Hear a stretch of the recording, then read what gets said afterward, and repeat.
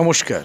হলদিয়া পৌরসভার ষোলো নম্বর ওয়ার্ড, ভবানীপুর গ্রামে এক ব্যক্তিগত বাড়িতে সিসি ক্যামেরা লাগানো এবং সেই সিসি ক্যামেরা রাস্তার দিকে নজরদারি না করে গ্রামের পুকুরের দিকে সেই লাগানো নিয়ে এলাকার মানুষের ক্ষোভ।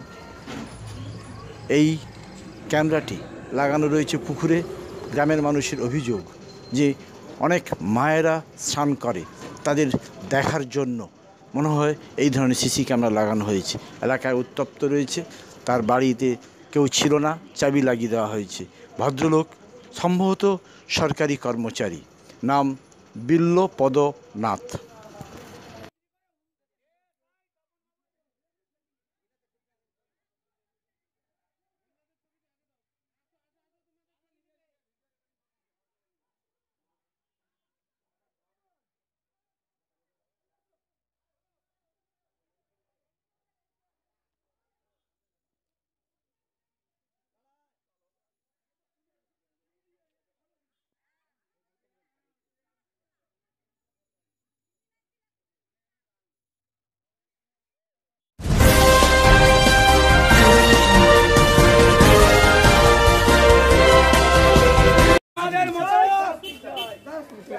আমাদের মতো করে সিসিটিভি। সাধারণ মানুষের বিক্ষোভে সিসি ক্যামেরা কেন লাগিয়েছে?